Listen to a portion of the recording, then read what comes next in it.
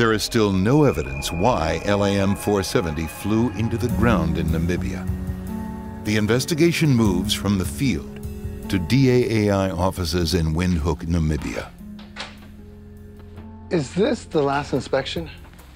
Looks like it. They begin looking into the way Mozambique Airlines was maintaining the plane. November 28th. Day before the accident.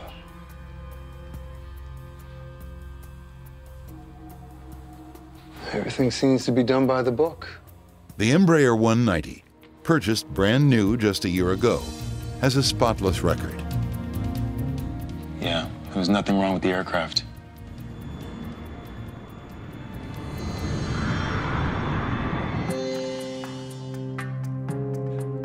With no evidence of a mechanical problem, the team turns its attention to outside factors.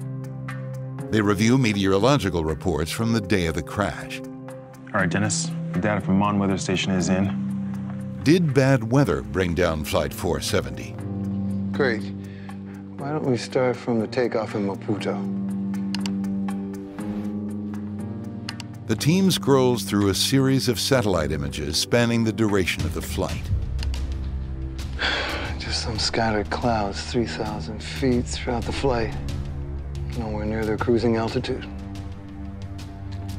What was the wind like? Nothing stronger than 11 knots, so no problem there.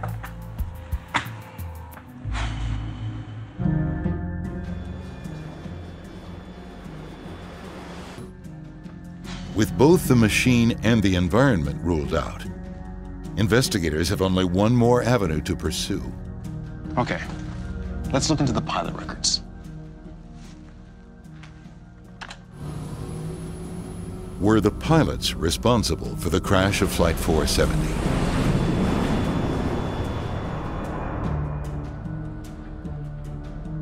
Investigators consider if the pilots of LAM 470 played a role in causing the crash. Captain Hermanio dos Santos Fernandez. Born in Mozambique, 49 years old. Here we go.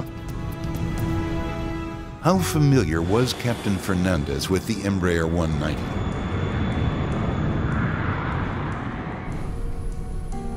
Positive rate. Gear up. Gear up.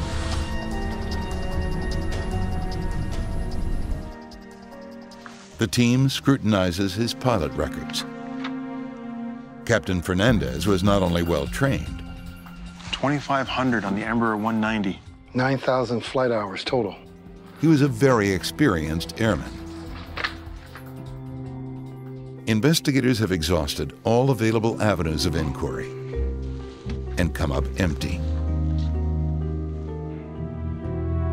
Any news on the recorders? Not yet, but I'll check in.